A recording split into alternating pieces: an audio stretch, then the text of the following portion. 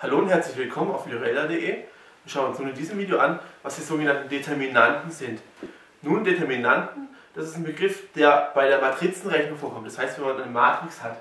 Hier haben wir zum Beispiel eine Matrix mit 2 Kreuz 2 Einträgen, also 4 Einträgen.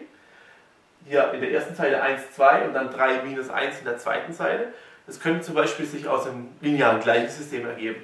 Wenn wir in der ersten ähm, Zeile haben 1a plus 3b und in der zweiten Zeile zum Beispiel 2a minus 1b. Da könnte das herkommen.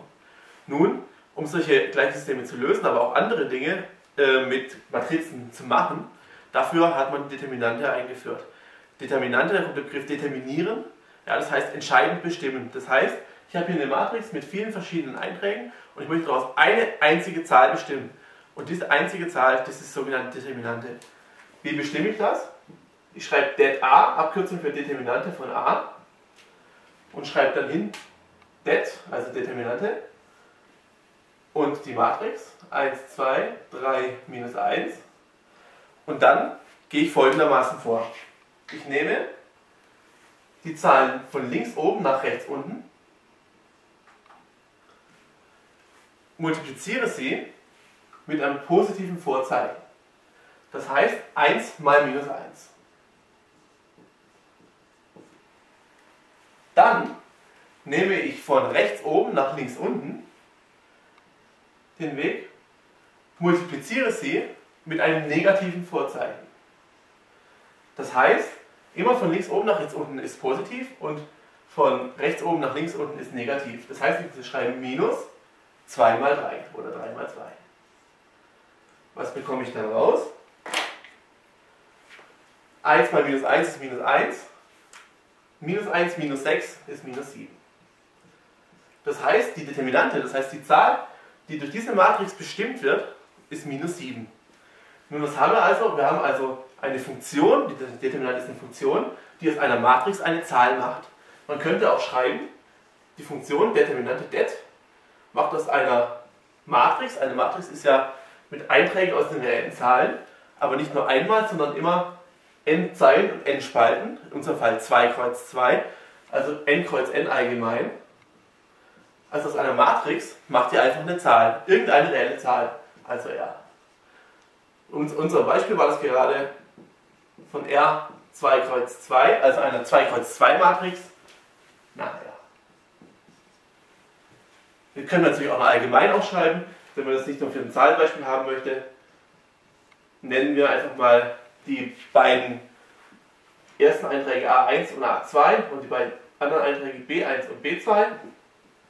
Dann kann ich wiederum, genauso wie hier oben, sagen, det A ist dann A1 mal B2 positiv, also einfach nur A1 mal B2. Und dann hier auf der anderen Seite negativ, also minus B1 A2.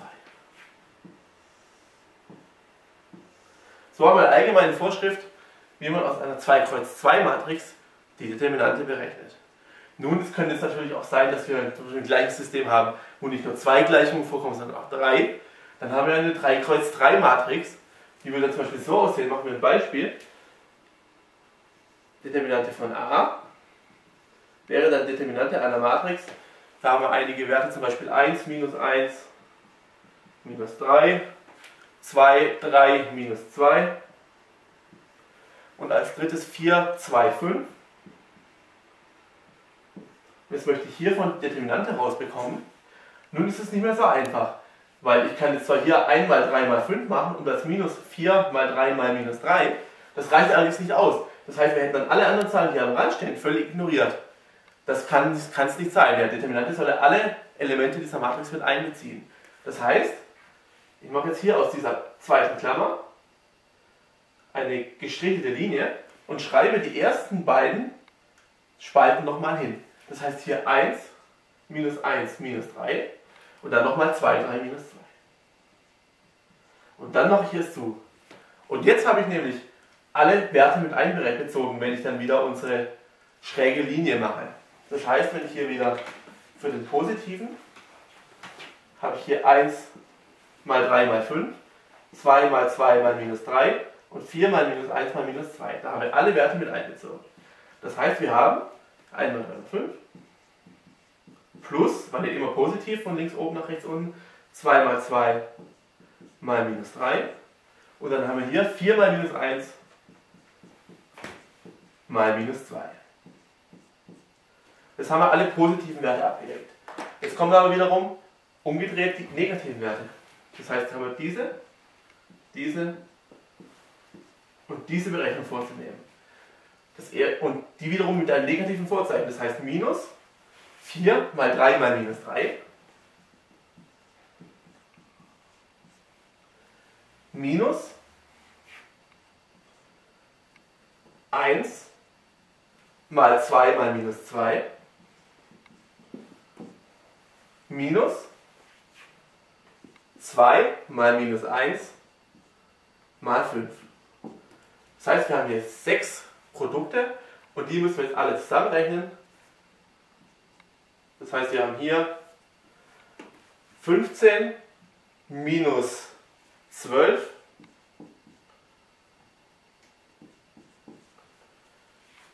plus 8.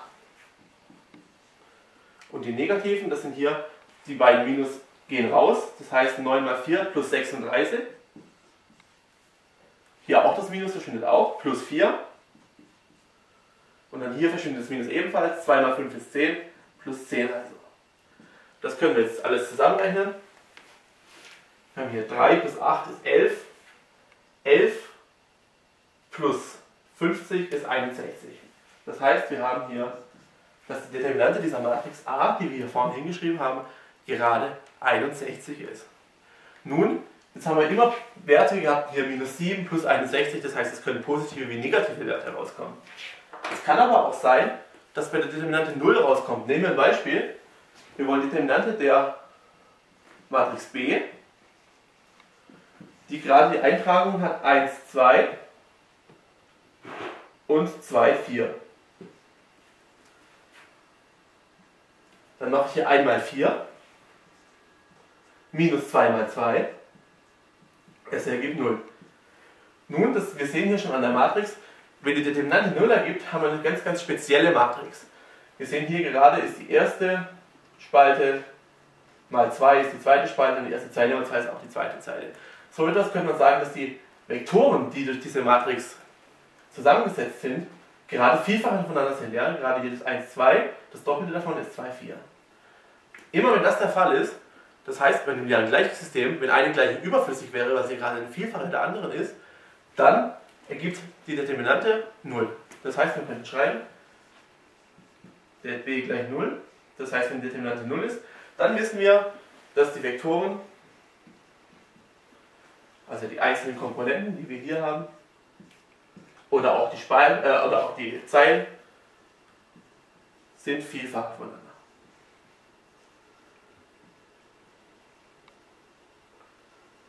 Man sagt auch als Fachbegriff, sie sind linear abhängig.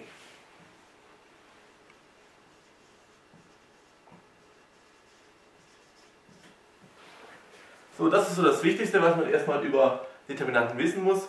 Weiteres erfahrt ihr in anderen Videos von uns. Schaut bei uns auf der Homepage vorbei, dort werdet ihr dann noch mehr über das Thema erfahren. Dankeschön.